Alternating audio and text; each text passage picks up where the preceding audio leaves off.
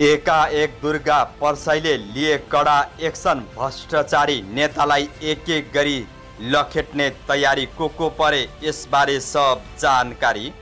फेरि भर्खरै उदयपुरबाट फेरि ब्याड न्युज आयो श्रीमतीको घाँटी काटी टाउको हातमा झुन्डाएर सडकमा हिँडिरहेका युवक पक्राउ।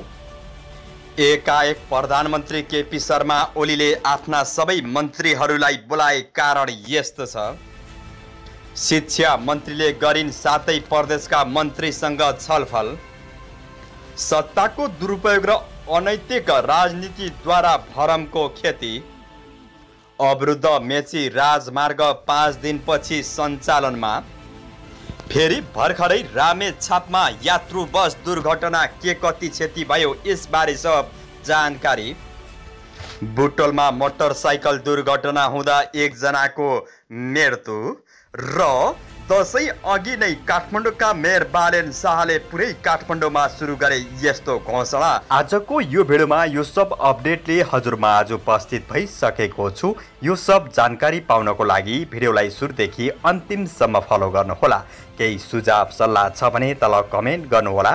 भिडियोलाई सक्दो सेयर गरी सबै नेपालीसम्म पुर्याउन मद्दत पनि गर्नुहोला। हजुरको एउटा सेयरले गर्दाखेरि धेरै नेपालीलाई केही न केही जानकारी मिल्नेछ। मैले आफूले जानेका बुझेका कुराहरू हजुरहरूलाई बताउने गर्दछु।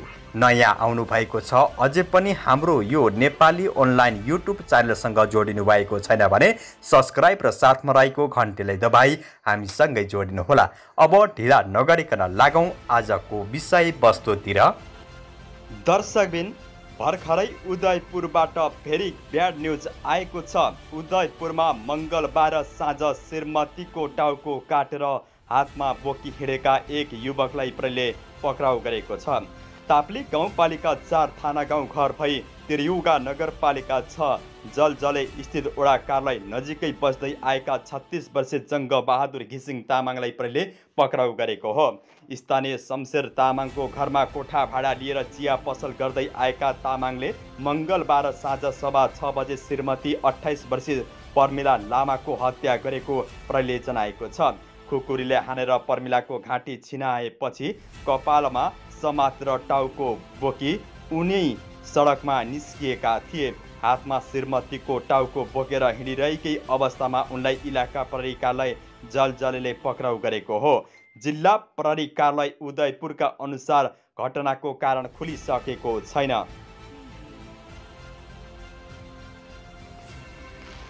त्यस्तै दर्शकबिन तथ्यबाट सत्य पत्ता लगाउनु छलफल र बहसबाट निष्कर्षमा पुग्नु मार्क्सवादको मान्यता हो। विचारको विविधता अभिव्यक्ति र सङ्गठनको स्वतन्त्रताको नेपालको संविधानले संविधानले नै प्रत्यारोहित गरेको छ। नेकपा एमालेको जनताको बहुदलीय जनवादले बहस र छलफललाई आत्मसात गर्दै फरक मतको सम्मान गर्दै गर्ने कुरा गरेको छ। फरक मतको सम्मान गर्ने कुरा एमालेको विधानमै नै उल्लेख छ तर यसको विपरीत केही समय यता विभिन्न जिम्मेवारीमा रहेका केही व्यक्तिहरू नै फरक मतप्रति शत्रुवर्त व्यवहार गर्ने कार्यकर्ताहरूको चुन्ने र चुनिन पाउने अधिकारमाथि हस्तक्षेप गर्दै आफ्ना मानिसहरूलाई मात्र जिम उम्मेदवार हुन दिने वा जबरजस्ती टिका लगाइदिने वा अधिवेशन नै लम्ब्याएर पद सुम्कने क्रियाकलाप गरिरहेको व्यापक गुनासो सुनिन्छ। यही परिवेश र सन्दर्भमा मैले राष्ट्रियता जन जनतन्त्र र जनजीविका सम्बन्धी विषयलाई महत्त्वका साथ उठाउँदा प्रहारको सामना गरिरहनु परेको छ। देश विभाजनको कुरा गर्ने कम्युनिस्टलाई समाप्त गर्ने लक्ष्यको उद्घोष गर्ने एमालेलाई कमजोर पार्ने वा विभाजन गर्नेहरू कतिका लागि मित्र र निकट तर नेपालको स्वाधीनता स्वाभिमान समृद्धि तथा एमालेको विविध सम्बन्ध सञ्चालन प्रणाली तथा राष्ट्रको सर्ववरित हितको कुरा गर्ने म जस्ता मानिसहरू शत्रु ठानिएको प्रतीत हुन्छ। भीम राहुलले भनेका छन् अहिले एमाले भित्रै एक अर्कोमा दोष दिँदै एमाले नै फुट्ने तयारीमा भइरहेको छ। त्यस्तै दर्शकबिन बुटोलमा मोटरसाइकल दुर्घटना हुँदा दुईजनाको मृत्यु भएको छ।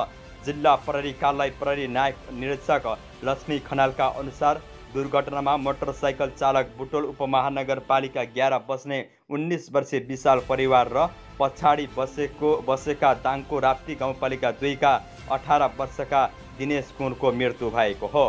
मङ्गलबार बिहान बुटोलको नुवाकोट स्थित भ्यू पोइन्टबाट बुटोलतर्फ आउँदै गरेको लु एकतालिस प बिस दस नम्बरको मोटरसाइकल अनियन्त्र भई बाटोदेखि पचास साठी मिटर तल खसेको थियो। दुर्घटनापछि गम्भीर घाइते भएका उनीहरूको लुम्बिनी पारदर्शिक अस्पतालमा उपचारको क्रममा मृत्यु भएको छ।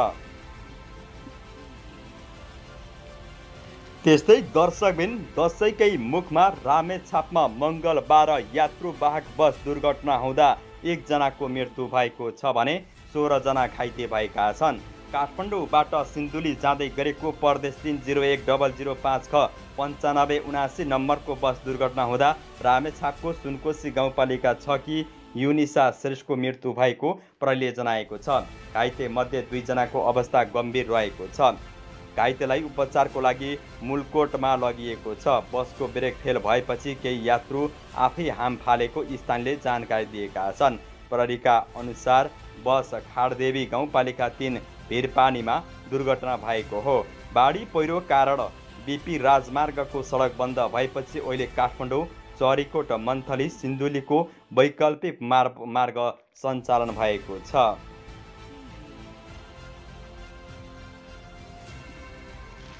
त्यस्तै दर्शकबिन पहिरोका कारण अवरुद्ध मेची राजमार्ग पाँच दिनपछि सञ्चालनमा आएको छ। मेची राजमार्गको इलाम नगरपालिका नौ स्थित माइखोला छेउमा चुडिएको सडक पुननिर्माणपछि आज मङ्गलबार बेलुकी छ बजेदेखि सञ्चालनमा आएको हो। अवरुद्ध राजमार्गको अवरोध हटाएपछि मङ्गलबारदेखि चार पाङ्ग्रे साना र दुई पाङ्ग्रे सवारी साधन सञ्चालनमा ल्याइएको जिल्ला प्रहरी प्रमुख एसपी प्रभु प्रसाद ढकालले जानकारी दिनुभयो। चार पाङ्ग्रे ठुला सवारी साधन र मालबाग साधन भने बुधबार दिउँसो सडकको अवस्था विचार गरेर मात्र सञ्चालनमा ल्याउने उनले बताएका छन्। सडक पुनर्निर्माणपछि अहिले साँझ छ बजेदेखि साना सवारी साधन सञ्चालन गर्न दिएका छौँ। ठुला सवारी साधनको हकमा भने आज दिउँसो सडकको अवस्था बुझेर मात्र सञ्चालन गर्न दिनेछौँ प्रमुख ढकालले भने राजमार्ग सञ्चालनमा आएसँगै बिच बाटोमा रोकिएका दर्जनौँ सवारी साधन गन्तव्यतर्फ लागेका छन्। उनले राजमार्ग अन्तरको इलाम राज राजदुवाली खण्डमा भएको सडक अवरुद्ध सबै सफा पारिसकेको र सवारी आवत जावत सहज भइरहेको बताएका छन्। चार दिनसम्म लागेर सडक डिभिजन कार्यालय इलामले बाटो खुलाएको हो। पहिरोले चुडाएको सडकमा ग्वाङ ग्याङबिङ जालीसहित वाल लगाएर एन्ड माथिबाट खसेको पहिरो पन्छाएर बाटो खुलाइएको हो। पहिरोले सडक चुडिएपछि गत शुक्रबार दिउँसो चार बजेदेखि मेची राजमार्ग अवरुद्ध भएको थियो। राजमार्ग अवरुद्ध भएपछि झापा मोरङ र सुनसरीदेखि इलाम पाँचथर ताप्लेजुङ आउजाउ गर्ने सयौँ सवारी साधन माइखोलावारी र पारी बिच बाटोमै रोकिएका थिए। माइखोला पारीका सवारी साधनले माइखोलासम्म यात्रु ल्याउने र वारीका सवारी साधनले वारी साधनले वारीसम्म यात्रु लैजाने गर्दै आएका थिए। सडक सञ्चालन भएसँगै अहिले सबै गन्तव्यमा गन्तव्यतर्फ लागेका छन्। त्यस्तै दर्शकबिन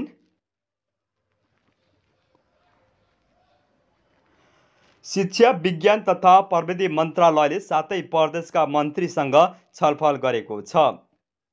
शिक्षा मन्त्री विद्या भण्डारीको अध्यक्षतामा सातै प्रदेशका शिक्षा हेर्ने मन्त्रीसँग भर्चुअल रूपमा छलफल गरेकी हुन्।